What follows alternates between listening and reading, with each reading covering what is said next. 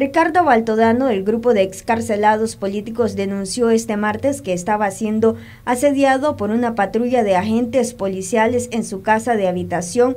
Se presentaron desde las 6 de la mañana y ubicaron una patrulla que ahí está todavía permanente, ubicaron tres conos precisamente frente al lado de mi casa en una calle donde hay muy poca y pobre circulación vehicular.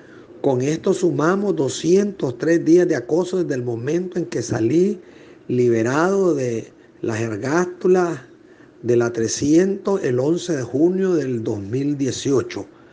Son 203 días en que no lo dejan trabajar en paz a uno, en que no dejan que uno desarrolle su actividad normal y esto afecta, por supuesto, la psicología de uno y la vida económica natural y normal, el desempeño laboral de las formas que uno ha encontrado para poder sobrevivir pues, a esta situación anómala eh, en que la mayoría de los encarcelados nos encontramos.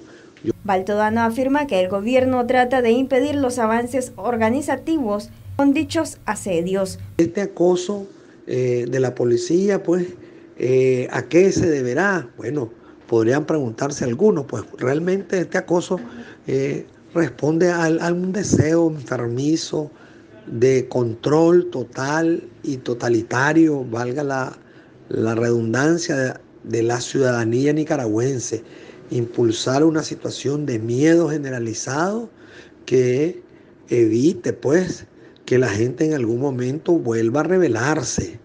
Eh, en este contexto de elecciones, porque estamos en un año electoral del que no podemos, eh, trata de impedir los avances organizativos, tanto de la coalición nacional como del resto de organizaciones que trabajamos pues por, por, por hacer uso de nuestros derechos constitucionales a la libertad de pensamiento, a la libertad de organización y a la libertad de movilización.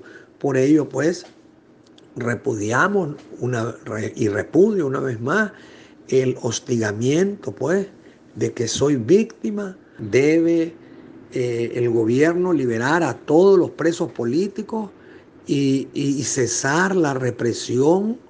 Noticias 12 Darlene Telles.